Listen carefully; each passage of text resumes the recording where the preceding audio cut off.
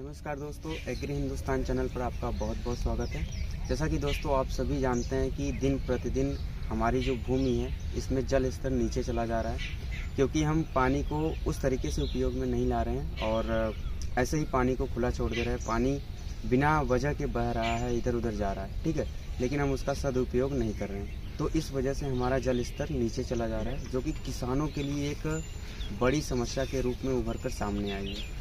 तो दोस्तों, इस समस्या को दूर करने के लिए बहुत सारे अनुदान और बहुत सारे स्कीम चलाई जा रही हैं, जिनमें से जो सबसे ज़्यादा प्रमुख है, वो स्कीम है प्रधानमंत्री कृषि सिंचाई योजना।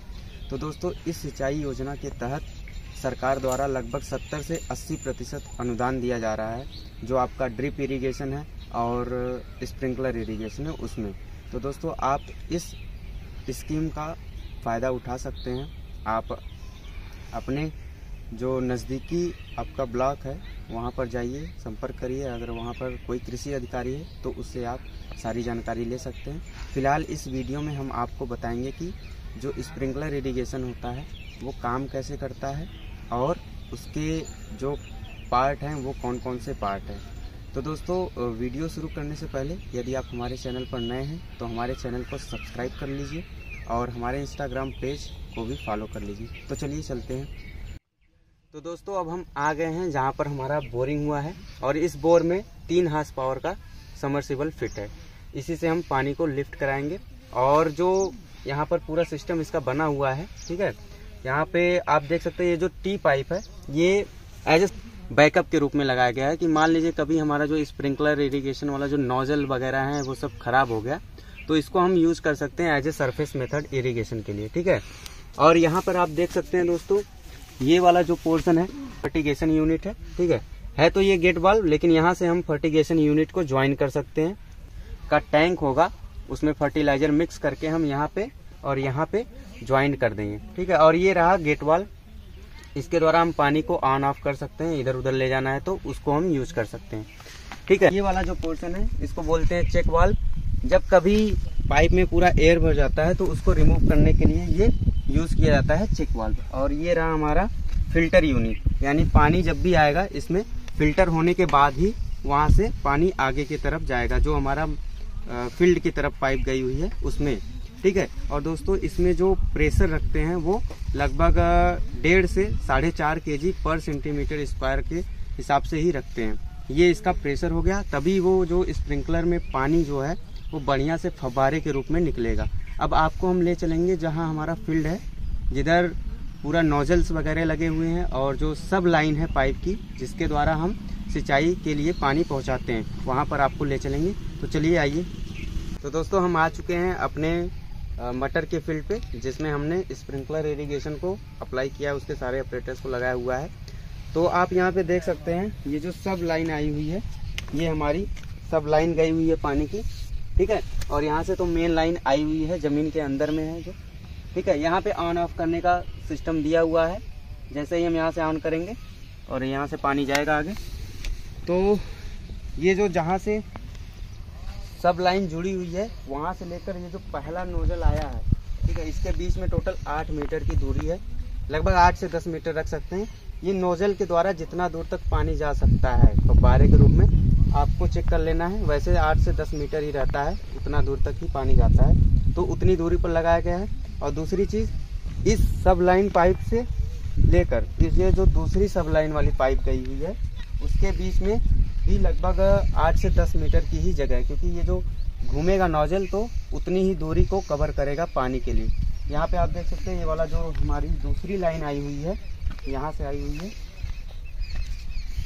इसके और उसके। इन दोनों के बीच में लगभग 10 मीटर या 8 से 10 मीटर का गैप है, ठीक है? इतना मेंटेन करके रखते हैं। और यहाँ पे नोजल है, और नोजल से नोजल के बीच में, जैसे यहाँ पे एक नोजल है, ठीक है? यहाँ पे एक नोजल है, एक नोजल आगे है, आपको दिखते हैं। ठीक है, ये सब लाइन तो गई है। और यहाँ पे हमारा जो दूसरा नोजल है, पहले नोजल और दूसरे नोजल के बीच में भी लगभग आठ से 10 मीटर की ही दूरी को मेंटेन करके रखेंगे। क्योंकि एक नोजल के द्वारा लगभग उतनी ही दूरी को ये कवर कर पाएगा पानी के द्वारा फब्बारे के रूप में जो निकलता है।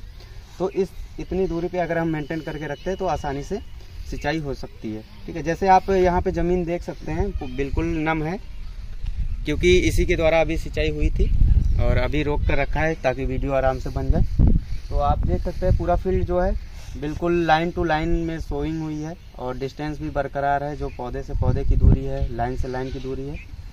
तो कहीं ना कहीं ये हमारे लिए बहुत ही अच्छा प्रोडक्शन देगा और पानी की तो बहुत अच्छी बचत होगी, क्योंकि जो स्प्रिंकलर इरिगेशन होता है, उसमें लगभग हम 50 प्रतिशत तक पानी को बचत कर सकते हैं।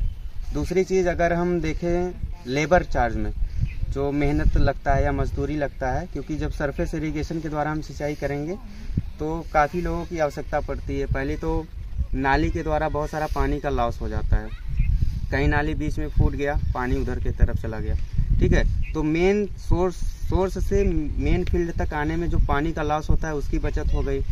दूसरी चीज़ सिंचाई करने के लिए हमें दो तीन लेबर की ज़रूरत पड़ेगी। ठीक है? क्योंकि वो पानी को काटना पड़ता है, दूसरे क्यारी से तीसरे क्यारी में जाना पड़ता है। तो इन सब चीज़ों को भी हम बचत कर सकेंगे कर सकेंगे। क्योंकि अगर मजदूर रखेंगे तो उनको पैसा देना पड़ेगा। लेकिन जो स्प्रिंकलर इरिगेशन है या ड्रिप इरिगेशन है, उसमें ऐसा कोई प्रॉब्लम या वो नहीं आता है। आसानी से इसमें कोई करना नहीं है। बस मशीन ऑन करके सो जाना है या जो भी करना है, आप अपना काम करिए और ये सिंचाई आपका होता रहेगा। ठीक है? और दोस्तों इससे अगर स्प्रिंकलर मेथड का हम यूज़ कर रहे हैं तो इल्ड भी हमारी इंक्रीज हो सकती है। ठीक है? तो लगभग 20 प्रतिशत तक हम इल्ड को भी इंक्रीज कर सकते हैं, यानी इल्ड 20 प्रतिशत तक बढ़ सकता है। और दूसरी चीज़, इसके द्वारा हमें अलग से दवा छिड़कने की भी कोई ज़रूरत नहीं है, क्योंकि उसमें टैंक लगा हुआ होगा, जहाँ से आप फर्टिगेशन भी कर सकते हैं। फर्टिगेशन का मतलब होता है कि इरीगेशन की जो पानी जा रही है, उसके द्वारा ही हम उसमें फर्टिलाइज़र मिक्स करके अपने खेतों तक पहुँचा देंगे। तो वो होता है फर्टिगेशन। और पेस्टिसाइड्स को भी हम छिड़क सकते हैं। अगर मान लीजिए हम सरफेस इरिगेशन का यूज़ कर रहे हैं, सरफेस मेथड का तो उसमें क्या होता है कि जब कीट, व्याधियाँ या डिज़ीज़ वगैरह लग जाता है तो हमें पीछे जो नैपसैक स्प्रेयर होता है या अदर टैंक वाले होते हैं, उनको पीठ पर लाद कर चलाना पड़ता है और पूरे खेत में फिर छिड़काव होता है दवा का। लेकिन इसमें क्या है कि फर्टिगेशन वाले यूनिट में ही उसको साफ़ करके पेस्टिसाइड वाला टैंक जोड़ देंगे, उसके बाद हम मशीन को ऑन कर देंगे और जो लिमिट होगा उतने ही लिमिट पर ऑन कर देंगे, वो धीरे धीरे पेस्टिसाइड इसमें मिक्स होता रहेगा पानी में और वो हमारे फ़ील्ड के पास आ जाएगा। तो इससे क्या होगा कि इसमें भी ये जो दवा छिड़कने के लिए लेबर का चार्ज आता है, वो भी हम बचत कर सकते हैं। अब दोस्तों, इसकी कुछ डिसएडवांटेज है, यानी कुछ हानियाँ भी होती हैं। तो मेन जो हानि होती है, वो इसको अप्लाई करने में ही आती है, क्योंकि पाइप को ख़रीदना और ये स्प्रिंकलर वगैरह, सारा सिस्टम लाना बहुत ही महँगा पड़ जाता है किसानों के लिए। लेकिन इस हानि को तो सरकार ने वैसे ही दूर कर दिया है। जो इतने भारी मात्रा में अनुदान दिए छूट दी है, उसको आप यूज़ करके ये जो हानि आती है, आप इसको आसानी से दूर कर सकते हैं। और दूसरी बात रही कि इसमें मेन हानि जो आती है तेज़ हवा चल रहा है तो आप सिंचाई नहीं कर सकते हैं, क्योंकि पानी हमारा जो जहाँ पर जाना चाहिए फब्बारे के माध्यम से वहाँ तक नहीं जा पाएगा। ये तो दूसरी हानि होगी और तीसरी हानि ये आती है, यदि आपका जो समरसिबल है, ठीक है, उसमें बहुत ही ज़्यादा मात्रा में बालू आ रहा है तो वो क्या होता है कि पाइप में आकर वो जम जाता है। और कहीं ना कहीं ये जो नोज़ल्स हैं नोज़ल्स के जो मेन जहाँ पर पोर है, यहाँ से पानी निकलता है वहाँ पर भी आकर वो जम जाते हैं तो इससे क्या होता है कि नोज़ल बिल्कुल ब्लॉक हो जाता है।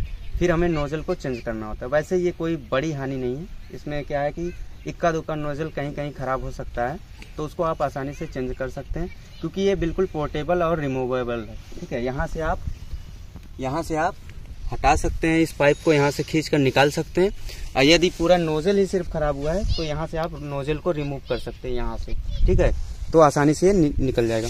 और इस ये तो रही इतनी बातें। और इसको सपोर्ट के लिए हम ये एक डंडी का यूज़ करेंगे। ठीक है, आप आप लकड़ी का भी यूज़ कर सकते हैं अगर आपके पास नहीं है खर्च। वैसे तो ये लोहे की रॉड एक यूज़ किया जाता है ताकि आराम से ये टिका रहे। तो दोस्तों, मुझे लगता है कि अब आपको समझ में आ गया होगा। और ये हमारा पूरा मटर का फ़ील्ड है। आप देख सकते हैं कितनी अच्छी से प्लांटिंग की गई है, कितना मेहनत किया गया है इसमें। और इसका प्रोडक्शन भी मुझे लगता है इससे बहुत खासा बहुत अच्छी खासी उम्मीद है कि प्रोडक्शन बहुत अच्छा होगा और सारे चीज़ें साइंटिफिक वे में की गई है। इसमें कोई वो नहीं है। जो हमारा प्लांटिंग डिस्टेंस है रो टू रो डिस्टेंस है, वो सब मेंटेन करके बनाया गया है, ठीक है? और यहाँ पर आप देख सकते हैं छोटे छोटे क्यारियाँ भी बनी हुई हैं ताकि अगर बारिश हो तो पानी आसानी से निकल सके। ये ना हो कि इधर का उधर चला जाए, ठीक है? तो ये सारी चीज़ें देखते हुए हमने इस फ़ील्ड को, इस इस फ़ील्ड को जुताई किया था और इस फ़ील्ड में ऐसा लेआउट बनवाया था और यहाँ पर मटर की खेती की गई, ठीक है? तो मटर तो रबी सीज़न की क्रॉप है और मुझे लगता है कि काफ़ी अच्छा प्रोडक्शन मिलेगा और हम लोगों को काफ़ी अच्छा फ़ायदा भी होगा। तो दोस्तों, यदि आप हमारे चैनल पर नए हैं तो हमारे चैनल को सब्सक्राइब कर लीजिए और हमारा इंस्टाग्राम पेज भी है, आप वहाँ पर जाकर फॉलो कर सकते हैं, जो कि एग्री हिंदुस्तान के नाम से ही है। तो ठीक है, फिर मिलेंगे कभी किसी नए वीडियो में, किसी नए चीज़ के साथ। तो चलते हैं दोस्तों ठीक है धन्यवाद।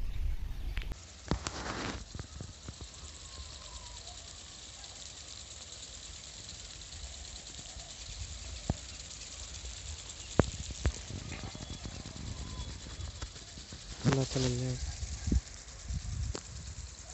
कैमरा स्टैंड रहता ना तो बहुत अच्छा वीडियो बने पानी बनाओ पता नहीं चला बना